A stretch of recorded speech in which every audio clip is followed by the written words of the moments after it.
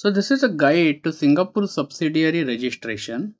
And the agenda that I am covering in this presentation is business structure options for foreign entities, meaning of a subsidiary company, subsidiary company registration requirements, do you need nominee director service and what options do you have, documents required from parent entity, registration steps and processes when engaging EPICA services, opening up of the bank account, any other important registration matters.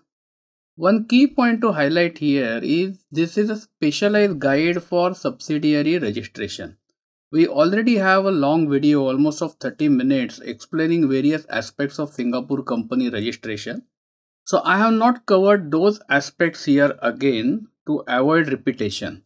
So here what I'm trying to do is handle those matters which specifically relate to subsidiary incorporation.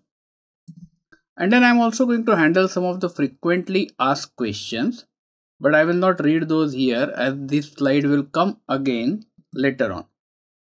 So let's start with the presentation and the first slide is about the option that a foreign company has when it plans to register its operations in Singapore. So when a company has decided to start its operations in Singapore, it has three entity types as options. The first one is a subsidiary company, another one is a branch office, and the third one is a representative office. Now out of this, branch office and representative office are not separate legal independent entities. They are extension of the foreign entity in Singapore and the only structure that is a separate company or separate legal entity is a subsidiary company. 99% of the foreign companies will prefer for subsidiary incorporation. Only 0.7% of the companies will go for branch office and even lesser percentage will go for representative office. So I think from this statistics it is clear that subsidiary is possibly the most popular option for foreign companies to set up their base in Singapore. Moving on to the next slide, so let's understand what is a subsidiary company. So subsidiary company is a company like any other company. So let's say that you have a parent company in UK and you decide to open your operations in Singapore. So in that case, you will register the company in Singapore and at that time 100% shareholding will be taken by parent entity in the subsidiary company. So this 100% shareholding creates a parent subsidiary relationship and that is why the company is called as a subsidiary company of the parent entity. So moving on to the next slide then, what are the requirements to be able to register the company? So the requirements are as follows. You need minimum one shareholder. Uh, mostly 100% shareholding will be with your parent entity. So that one shareholder is going to be your parent entity most probably. You also need one local resident director. Any additional local or foreign directors are okay, but minimum one is required. You need a company secretary who is locally resident in Singapore. If company has only single director, then same person cannot be the secretary. You need registered address for your company which cannot be a post office box address. And the last one is minimum $1 share capital is required. Now out of this majority of the requirements are not difficult to satisfy except one which is minimum one local resident director. This will be a problem if you are a foreign company and opening office here in Singapore then you may not have a person, a local person to act as the director of your company. In that circumstances, you can think of taking up nominee director service, which is provided by corporate secretarial firms like ours in Singapore. So it is basically a business service to foreign promoters. We provide it both for individual promoted companies as well as to foreign corporates. In this case, we will provide a local person to act as a director of your company to satisfy this local requirement, obviously for a fee. So most of the CSPs charge 1800 to 2400 Singapore dollars per year and some companies may even take additional deposit of 2000 Singapore dollars. So with this service you will be able to comply with the requirement of ACRA that you need one local director of your company. When you sign the documents, a nominee director indemnity agreement will be signed which will absolve nominee director of any business actions in your company and nominee director will give a commitment that he is not going to make anything on his own or take any action on his own in your company. So generally nominee director arrangements are quite safe and they are quite in uh, use in Singapore. So moving to the next slide, then when using nominee director, you have two options. First is you can incorporate a company and get a nominee director service on an ongoing basis. So you will continue, your top management will continue running your company from overseas.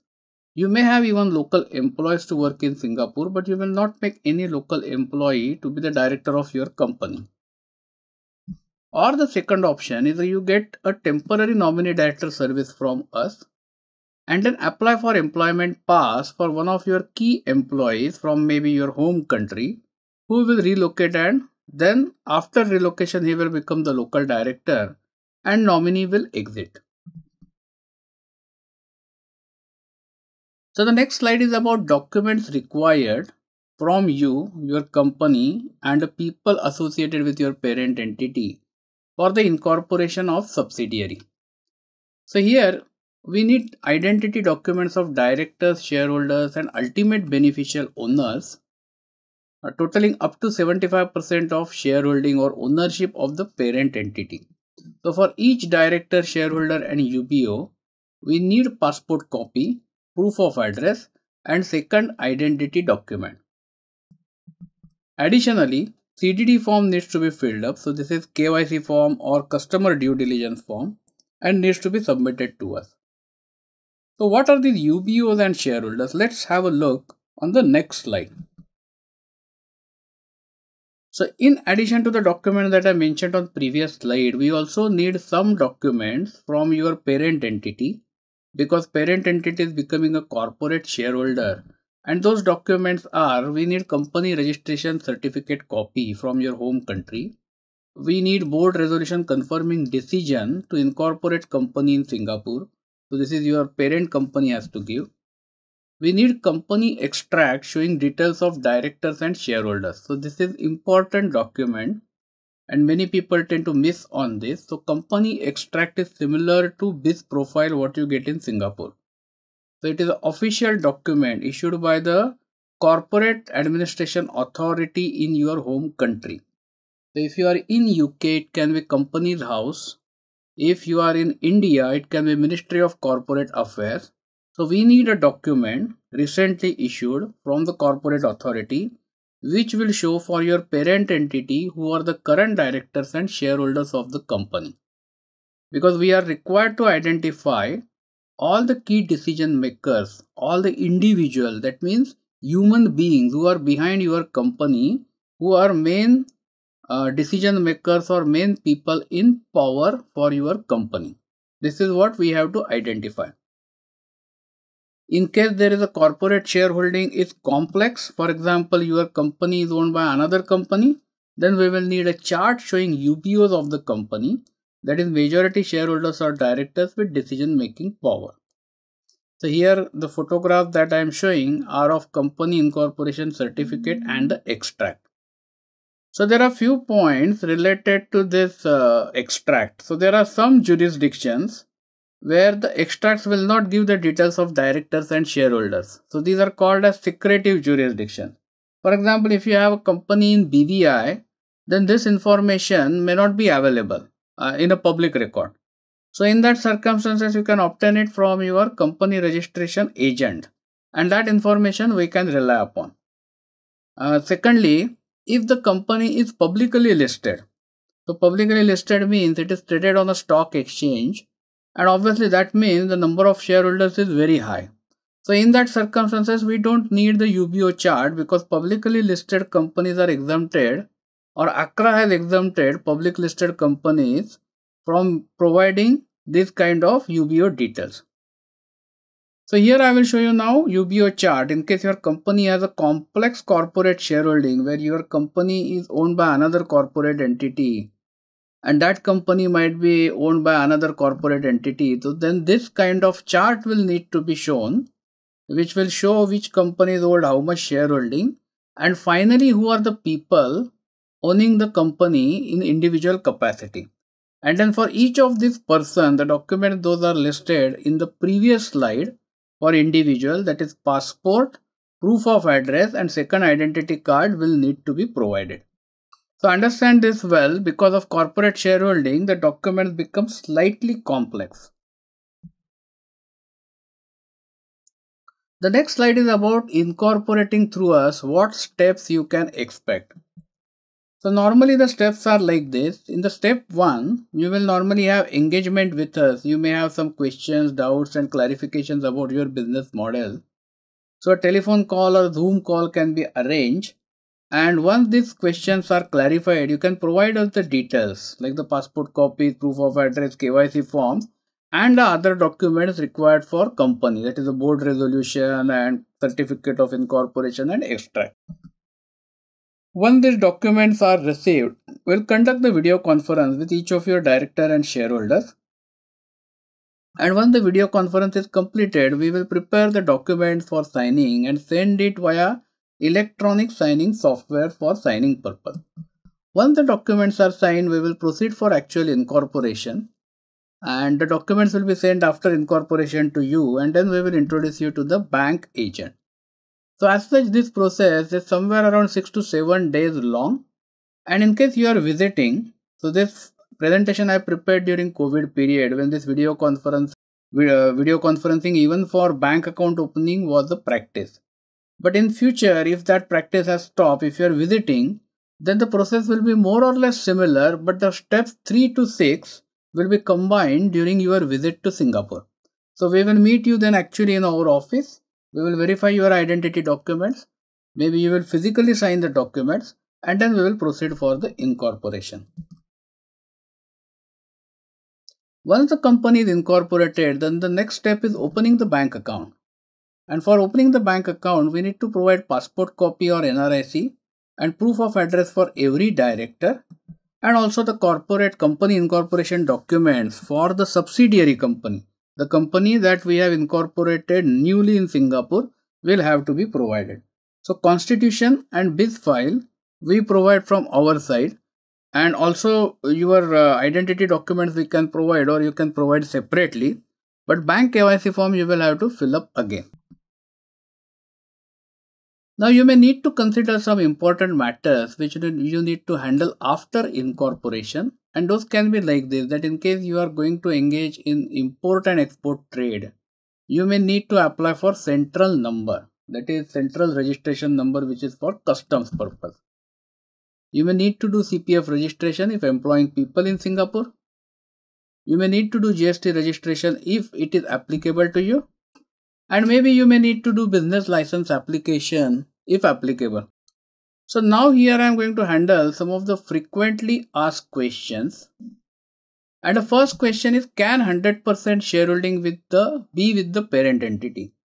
So the answer is yes. Singapore allows 100% shareholding with a foreign company or a foreign person. So that's not a problem. And 100% corporate shareholding is possible. The next question is Can I make one of the local employees we are hiring as the local director of the company? So, here what the scenario is that after incorporating, you are going to hire somebody locally, maybe a senior person, and you are thinking of making him the, him the local uh, director of the company and avoid the nominee service. So, this obviously can be done, but it is not really recommended because tomorrow, if that local employee leaves your company and resigns from the job, then again you will need to engage local director uh, service which again will require notifications with ACRA and the bank and there will be activities which will again anyway going to cost. The next question is do I need to give local shareholder a shareholding like example to give it to nominee director or the person you might recruit to act as the local director. So the answer is no there is no requirement to do that. If you want to give, you can give. Nominee directors will never take any shareholding in your company. But if you get a local employee and if you agree to give it to him, that is up to you. The next question is Do we get tax exemptions available for new startups? So, as you know, in Singapore, new startup get a tax exemptions whereby first out of first $100,000 income, 75% income is exempted. And then subsequently in next uh, 100,000, $50,000 income is exempted. However, please note that those tax exemptions are available to only those companies where individual shareholding is at least 10%. So that is one of the condition. So if your subsidiary is 100% uh, owned by parent entity, then in that circumstances, at least this tax exemption will not be available to you. So depending upon which tax exemption you are trying, you will have to check the rules and regulations. But generally these tax exemptions are not available to 100% owned uh, subsidiaries. And the last one is as a foreign company, should you go for a subsidiary or for a branch? So I think from the discussion, and maybe in some other videos also which are on branch we have made it clear that majority of the foreign companies when incorporating in singapore they will prefer to go for a subsidiary branch is a very specific structure and branch is not as advantageous as subsidiary entity so natural choice is subsidiary unless you have specific reasons to go for a branch so this is all about the subsidiary registration in Singapore. I hope these aspects of subsidiary are clear to you now. Thank you for watching this video. This video was brought to you by Epica Consulting Singapore. Subscribe to our channel today to get notified when new videos are posted.